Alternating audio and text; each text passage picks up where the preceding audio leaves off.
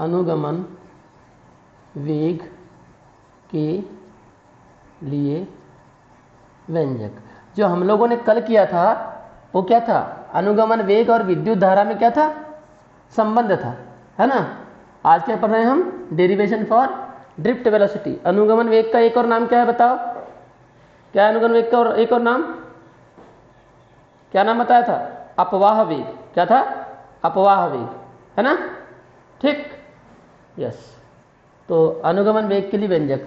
Derivation और चित्र जो आपकी थ्योरी है और चित्र जो है वो कल जैसे ही बिल्कुल सेम रहेगा। ये आपके पास में एक चालक तार था। था या नहीं? ठीक। इस चालक तार की लंबाई कितनी? कितनी? स्मॉल एल अनुप्रस्थ परिच्छेद का क्षेत्रफल कितना? ए अनुगमन वेग वी डी यहाँ प्लस रहेगा या माइनस रहेगा, आरोपित विभवांतर वी प्लस से धारा निकलेगी, प्रवाहित धारा आई ओके क्लियर है कि नहीं? एकांक आयतन में उपस्थित इलेक्ट्रॉन की संख्या एन और इलेक्ट्रॉन पर आवेश कितना होता है? ई e होता है। है ना? ये पूरा का पूरा जो चित्र है, वो कल जैसे ही आपके पास बना हुआ है। ये प्लस वाला यहाँ आरोपित होगा, या माइनस वाला यहाँ आरोपित होगा। इसको लिखना है तो लिखो, नहीं भी लिखोगे तो बात वही है। क्योंकि कल चर्चा इस पर हो चुकी है। क्लियर है इतनी बात सबको? यस आर नो ठीक। क्या होगा? माना कि थ्योरी वही है आपकी कल की पुरानी। माना कि किसी चालक तार की लंबाई स्मॉल एल अनुप्रस्थ परिच्छेद का क्षेत्रफल कैपिटल ए एकांक आयतन में उपस्थित इलेक्ट्रॉनों की संख्या स्मॉल एन ये महत्वपूर्ण पॉइंट है। एकांक आयतन में उपस्थित इलेक्ट्रॉनों की संख्या स्मॉल एन इलेक्ट्रॉन पर आवेश ई अनुगमन वेग वी डी आरोपित विभवांतर वी तथा प्रवाहित धारा आई है। और एक और पॉइंट यहाँ पर जोड़ना पड़ता है, चालक के प्रत्येक बिंदु पर विद्युत क्षेत्र की तीव्रता ई ई है। चालक के प्रत्येक बिंदु पर विद्युत क्षेत्र की तीव्रता ई और वो सब, वो समान ही होगी हर बिंदु पर। ठीक है? हर बिंदु पर क्या होगी? समान होगी। ठीक है? तो इस तरह से पूरी अगर हम थ्योरी को जोड़ते हैं तो बोलेंगे, माना किसी चालक तार की लंबाई स्मॉल एल अनुप्रस्थ परिच्छेद का क्षेत्रफल कैपिटल ए एकांक आयतन में उपस्थित इलेक्ट्रॉनों की संख्या स्मॉल एन इलेक्ट्रॉनों का अनुगमन वेग वी डी आरोपित विभवांतर वी प्रवाहित धारा आई तथा चालक के प्रत्येक बिंदु पर विद्युत क्षेत्र की तीव्रता कैपिटल ई e है तब। ठीक है? तब से क्या करते हैं? डेरिवेशन को स्टार्ट करते हैं। तब। बन जाएगा ना सबसे? कल की ही थ्योरी है। कोई दिक्कत इसमें? नहीं? बोलो। कोई दिक्कत है कि थ्योरी में? नहीं है। यस तो तब विभवांतर बराबर क्या होता है बताइए? विभवांतर इजिकल टू क्या होता है? बोलो। तीव्रता गुणित विस्थापन, है ना? कितने बार इसका हमने उपयोग कर चुके हैं? विभवांतर बराबर होता है तीव्रता गुणित विस्थापन। क्लियर है सबको?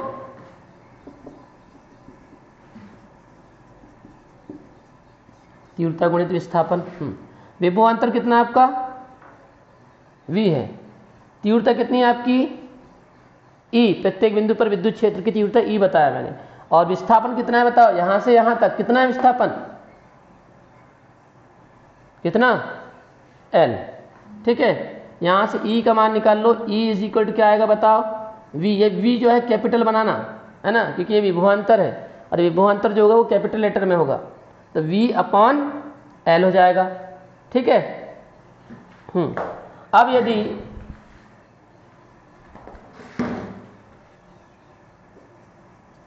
अब यदि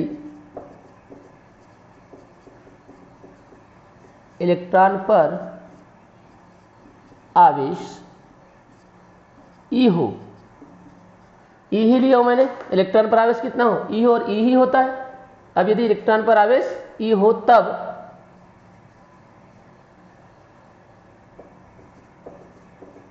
इलेक्ट्रॉन पर लगने वाला बल।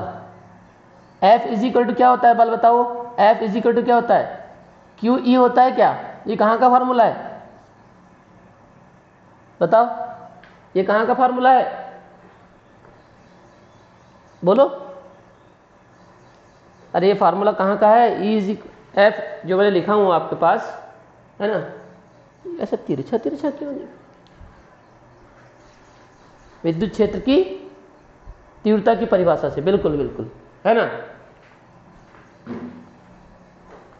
ये वाला फार्मूला आपके पास में E is equal to F upon q zero ये फार्मूला होता है। ठीक है?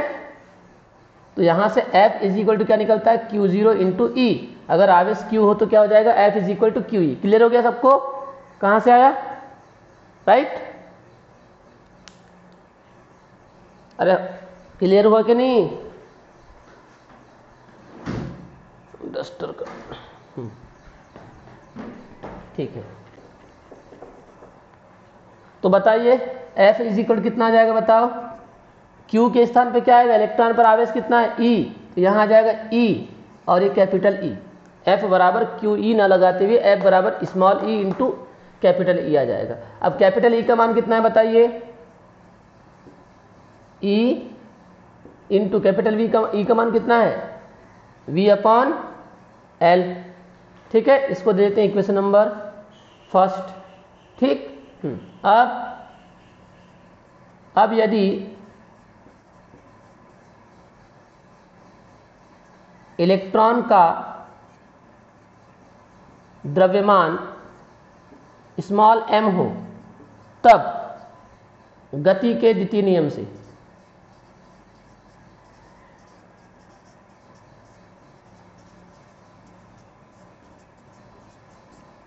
क्या लिखेंगे? अच्छा दिख रहा है कि नहीं?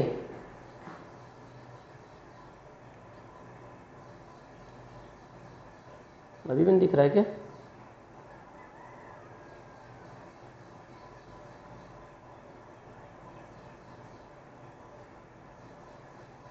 अब दिखा क्या? अब दिख रहा है? हम्म? हाँ ठीक। तो क्या लिखे? अब यदि इलेक्ट्रॉन का द्रव्यमान स्मॉल एम हो, तब गति के द्वितीय नियम से। क्या होगा द्वितीय नियम? बोलो। एफ़ बराबर एम ए होता है, बिल्कुल, है ना? तो एफ़ इज़ इक्वल टू क्या हो जाएगा? एम ए इसको देते हैं इक्वेशन नंबर सेकेंड और ये था आपका इक्वेशन नंबर फ़र्स्ट तो समीकरण एक व समीकरण दो से। क्या है? एक और दो से। Left hand side is equal to क्या? लेफ़्ट हैंड साइड इक्वल है? एफ़ एफ़ तो राइट हैंड साइड भी क्या हो जाएँगे? बोलो, जाएँगे इक्वल है ना? बीच से लाइन बना देता हूँ मैं। हम्म। तो क्या हो जाएगा? लेफ़्ट हैंड साइड इक्वल तो राइट हैंड साइड भी क्या हो जाएगा? इक्वल हो जाएगा। तो बताइए क्या आएगा अब? M A is equal to E into capital V upon L clear है? Yes or no A A is equal to M कहाँ आएगा? इसके अपॉन में आ जाएगा। ई वी अपॉन एम यहाँ आ गया तो क्या आ गया? एम एल ओके इसको देते हैं इक्वेशन नंबर थर्ड अब मैंने कल आप लोगों को बताया था कि जो इलेक्ट्रॉन होते हैं, वो किससे टकराते हैं? बताओ। किससे टकराते हैं? इलेक्ट्रॉन किससे टकराते हैं? हाँ धनायनों से टकराते हैं, है ना? क्योंकि परमाणु से इलेक्ट्रॉन बाह्यतम कोष से निकले थे और वो क्या हुए थे? चालक में इधर उधर घूम रहे थे स्वतंत्र रूप से, ठीक है? तो वो इलेक्ट्रॉन जब गति करते हैं तो किससे टकराते हैं? वो धनायनों से टकराते हैं, ठीक है? किससे टकराते हैं? धनायनों से। तो हम यहाँ पर ये मान के चल रहे हैं कि चूँकि इलेक्ट्रॉन धनायनों से टकराते हैं और यदि दो क्रमागत टक्करों के बीच का समय मतलब पहली टक्कर और दूसरी टक्कर मतलब इलेक्ट्रॉन पहले धनायन से टकराया, इलेक्ट्रॉन पहले धनायन से टकराया, ये धनायन, फिर दूसरा धनायन, दो क्रमागत टक्करों के बीच का समय। तो कोई इलेक्ट्रॉन यहाँ पर आकर टकराया होगा, ठीक है? इलेक्ट्रॉन, और फिर एक बार और यहाँ पर टकराया। तो दो क्रमागत टक्करों के बीच का समय यहाँ लेते हैं हम टाउ, और उस टाऊ को नाम देते हैं श्रांति काल क्या नाम देते हैं इसको? श्रांति काल या विश्रांति काल भी इसको कहते हैं। है ना? शांतिलाल नहीं। क्या नाम है इसका? क्या नाम लिया? श्रांति काल हाँ ऐसा। ये श्रांति काल ठीक है? ये है इसका नाम। और ये क्या चीज़ है? दो क्रमागत टक्करों के बीच का समय। मतलब इलेक्ट्रॉन आया, पहले धनायन से टकराया फिर क्या होगा वो? जब टकरा के उठेगा तो उसका वेग कितना रहेगा? शून्य रहेगा। आप बताइए, गाड़ी से मान के चलो आप टकराए तो उठने के बाद में आपका वेग कितना होगा? पचास हो जाएगा कि इकट्ठे? बताइए। बोलो। भाई आप जब गिर जाओगे, जब आप गिर जाओगे तो आपका वेग शून्य ही रहेगा ना? क्लियर? यस आर नो बताओ। शून्य रहेगा तो पहली टक्कर, जैसे पहली टक्कर हुई तो इलेक्ट्रॉन का वेग कितना हो जाएगा? शून्य हो जाएगा मतलब उसका प्रारंभिक वेग शून्य होगा। और फिर क्या करेगा वो? फिर निकलेगा, और विद्युत क्षेत्र का प्रभाव पड़ेगा तो फिर वो क्या होगा? तेज़ी से जाएगा, किससे टकराएगा? फिर दूसरे वाले किससे टकराएगा? धनायन से टकराएगा। तो उसका वेग जो होगा, वो अंतिम वेग कहलाएगा, और अंतिम वेग वो वी कहलाएगा। क्यों? क्योंकि विद्युत क्षेत्र के प्रभाव में वो गति किया है उसने। तो वो अंतिम वेग उसका क्या कहलाएगा? अनुगमन वेग कहलाएगा। समझ में आ रही बात क्या बोल रहा हूँ? यस आर नो ठीक? चूँकि चूँकि इलेक्ट्रॉन धनायन से टकरा रहा है, और हमने बोले ये टाउ क्या चीज़ है? श्रांति काल क्या है? दो क्रमागत टक्करों के बीच का समय, ये श्रांति काल है। ठीक है? दो क्रमागत टक्करों के बीच का समय श्रांति काल है। अब मान के चलो टक्कर हुई, जैसी पहली टक्कर होगी तो क्या होगा? तो वो रुकेगा। और रुकने के बाद में क्या होगा? फिर वो फिर गति करने लगेगा, लेकिन जैसी टक्कर होगी उसके बाद में उसका वेग कितना होगा प्रारंभ में? कितना होगा? शून्य होगा। जैसे आप गिर जाओ, मान के चलो मोटरसाइकिल से किसी जगह पर टकरा गए, है ना? तो क्या होगा? आप भी गिरोगे, मोटरसाइकिल भी गिरेगी। ठीक है? और फिर क्या करोगे आप? ठीक है, आपको कुछ नहीं हुआ, लगा नहीं है। है ना? आपको लगा नहीं है। लेकिन आप क्या करोगे? आप मोटरसाइकिल पर चढ़ोगे तो उस समय कितना वेग होगा आपका? कितना वेग होगा? उस समय। गिरकर उड़ गए और आप मोटरसाइकिल पर चढ़ गए। शून्य होगा। और फिर क्या होगा? आपको कहीं और टकराना है दूसरी जगह। तो किसी न किसी वेग से टकराओगे कि टकराओगे? ठीक है? तो वैसे यहाँ पर भी है। इलेक्ट्रॉन जो है, प्रथम टक्कर के जैसी प्रथम टक्कर होती है तो उसका प्रारंभिक वेग क्या हो जाता है? प्रारंभिक वेग टक्कर हुई, उसके बाद में जब वो अगली जगह पर जाने के लिए उठता है तो उसका प्रारंभिक वेग कितना रहता है? शून्य रहता है। ठीक है? लेकिन जैसे ही वो क्या करता है? यहाँ से निकलता है, इस जगह पर टकराने के लिए। तो वो क्या होता है? वी वेग से टकराता है, अंतिम वेग वी से। और वो अंतिम वेग क्या कहलाएगा? वी डी होता है। क्यों? क्योंकि वो जो वेग वो प्राप्त करता है, वो किसके कारण प्राप्त करता है? विद्युत क्षेत्र के कारण। है ना? और हमने कल परिभाषा पढ़ा अनुगमन वेग की। है ना? चालक में उपस्थित इलेक्ट्रॉन विद्युत क्षेत्र के प्रभाव में जिस नियत औसत वेग से गति करते हैं, उस औसत वेग को क्या बोलते हैं? अनुगमन वेग कहते हैं। क्लियर है? समझ में आ रही बात? तो ये लाइन हम यहाँ पर लिखने वाले हाँ तो हम यहाँ पर ये लाइन लिखने वाले हैं। चूँकि इलेक्ट्रॉन धनायनों से टकराते हैं, लिख देते हैं ये लाइन हम।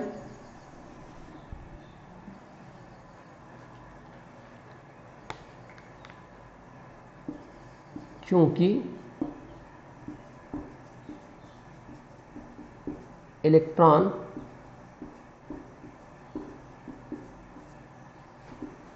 धनायनों से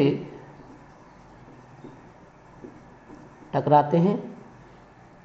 यदि दो क्रमागत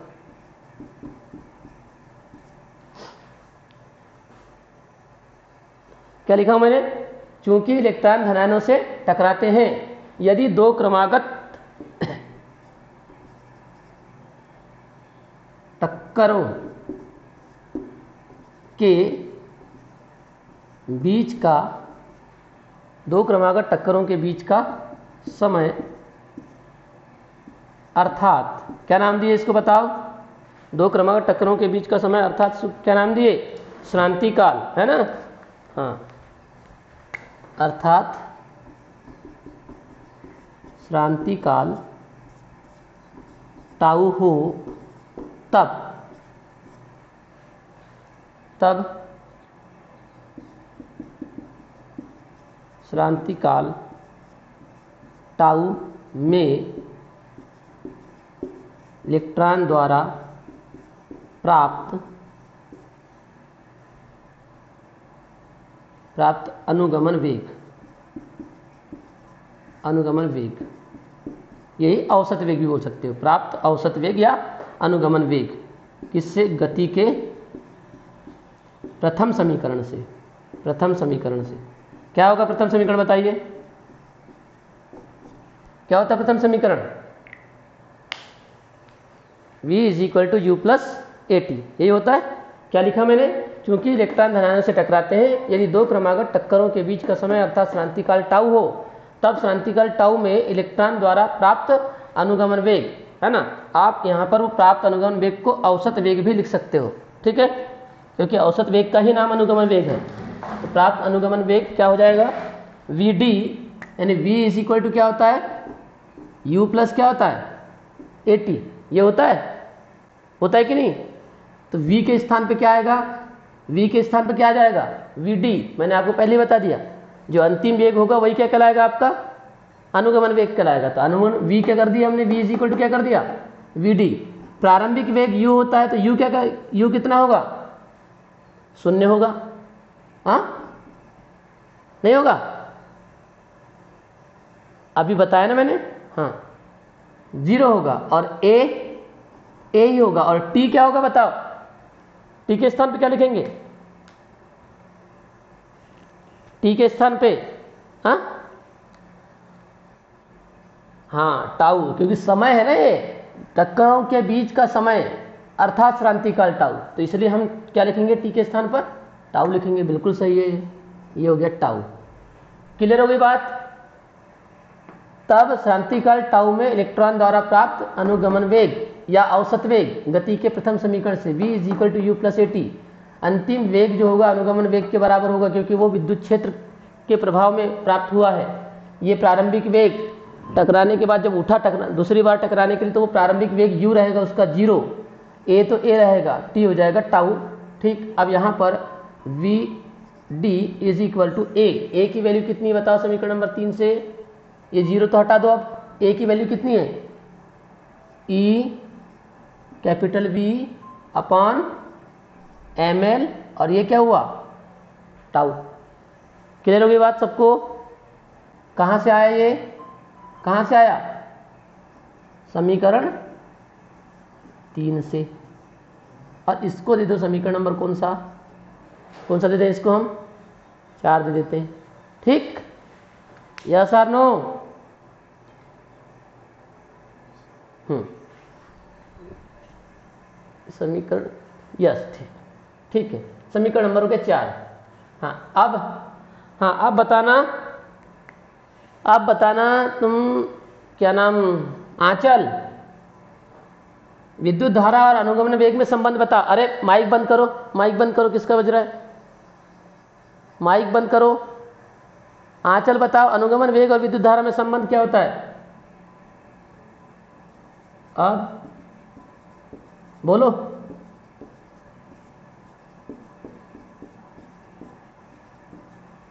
बोलो। नहीं नहीं नहीं, हमको क्या करना है? हमको तो यहीं पर हमारा आंसर आ चुका है। हेडिंग क्या डली है हमारी, बताओ। हेडिंग क्या डली है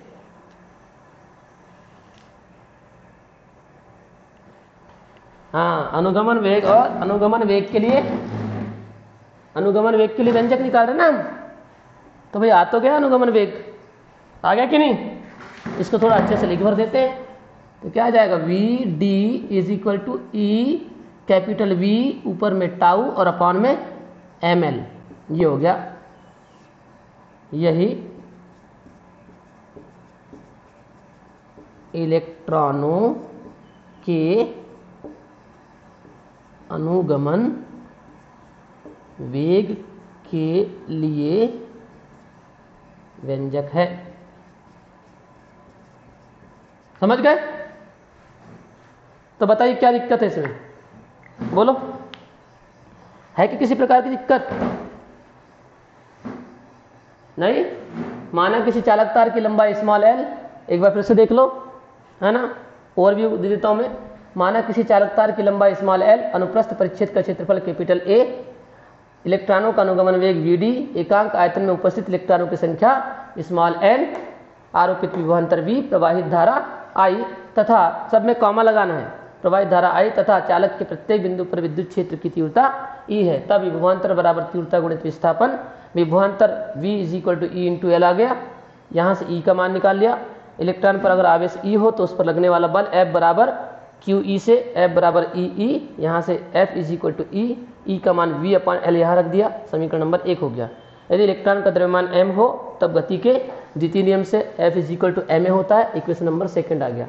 Equation number first and second से लेफ़्ट बराबर है राइट बराबर जाएँगे ए की वैल्यू निकाल लिया। ए की वैल्यू निकालने के बाद, चूँकि इलेक्ट्रॉन धनायनों से टकराते हैं, यदि दो क्रमागत टक्करों के बीच का समय अर्थात शांतिकाल टाउ हो, तब शांतिकाल टाउ में इलेक्ट्रॉन द्वारा प्राप्त अनुगमन वेग गति के प्रथम समीकरण से। प्रथम समीकरण होता है v is equal to u plus a तो अंतिम योग जो होगा, वही अनुगमन वेग कहलाएगा। ये वी डी यू के स्थान पर शून्य, प्रारंभिक वेग शून्य होगा, मैंने समझा चुका हूँ। ए और टी के स्थान पर टाउ आ जाएगा। इस तरह से आप ए का मान यहाँ समीकरण नंबर तीन से रख देंगे थोड़ा सा अच्छे से लिख देंगे तो V D is equal to आ जाएगा E V tau upon M L ये भी सूत्र आपको याद रहना चाहिए। ठीक? तो ये हो गया आपका अनुगमन वेग के लिए व्यंजक क्लियर है? और ये सूत्र आपको मालूम होना चाहिए, क्या है सूत्र? अनुगमन वेग V D is equal to E capital V tau upon M L clear